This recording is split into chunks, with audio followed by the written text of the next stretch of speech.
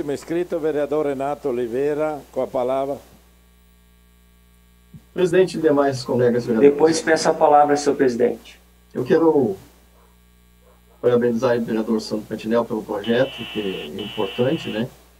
É, que ele já protocolou na casa, para nós é super importante. Agora também eu vejo algumas coisas que, por exemplo, a gente pode dar um exemplo aí, o vereador Denise está mais tempo na casa, o vereador Felipe, que sabe bem o que aconteceu aqui na nossa região do loteamento Fátima Baixa. Bairro Fátima Baixa, conhecido como Os Braga, né? A administração Sartori, vereador Rafael, quando foi aquelas parcerias do governo federal, foi feito um loteamento com mais de 400 pessoas que foi ficado na região, as pessoas ficaram na região. Então é importante isso, esse debate, mas por que essa parceria? Parceria com o governo federal. Se o governo federal não ajudar, a dificuldade vai ficar muito grande. Só esses projetos se não tiver essas parcerias. Porque eu quero dizer aos nobres pares que o loteamento do, não saiu só do Fátima Baixa, saiu de várias pessoas aqui da região para resolver. Mas, assim, cinco, mais de 50% do valor investido no loteamento Vitória 3 uma parte veio, veio renda, veio, veio verba é, do governo federal a fundo perdido. A fundo perdido.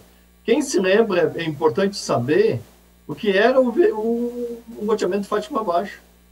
O valão do Fátima Baixa é muito conhecido por pessoas mais antigas aqui da nossa cidade. Uma dificuldade muito grande. Agora, quando tem essas parcerias, as coisas funcionam.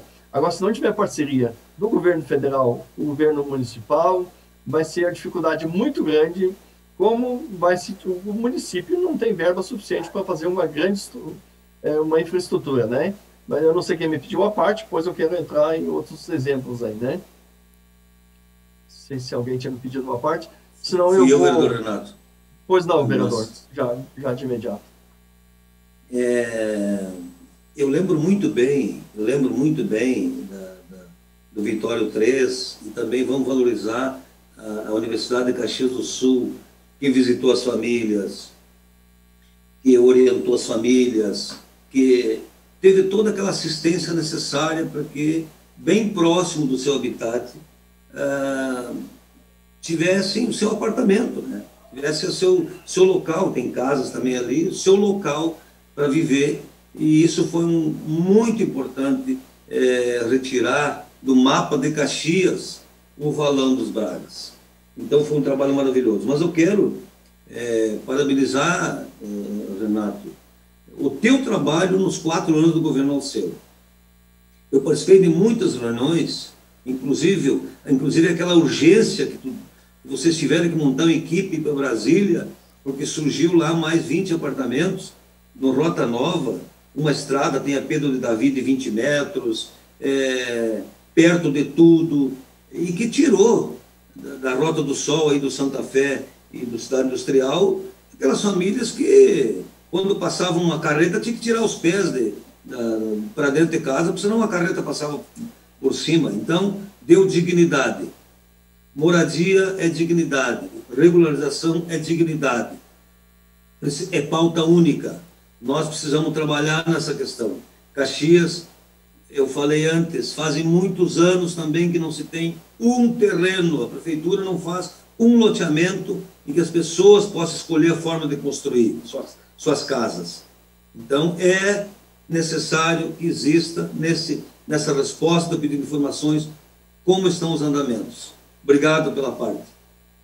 Obrigado, vereador Dombrosa. É importante o senhor lembrar também do, do Lota Nova, porque do Lota Nova nós começamos é, uma obra, nós fomos escolher os terrenos o terreno que tinha que ceder ao governo federal, e nós tinha prazo, e aquelas famílias estão ali morando, acho que dignamente, né? com toda a infraestrutura, com grande parceria é, do governo federal, porque o recurso que foi posto pelo município foi é, simplesmente o terreno, o terreno.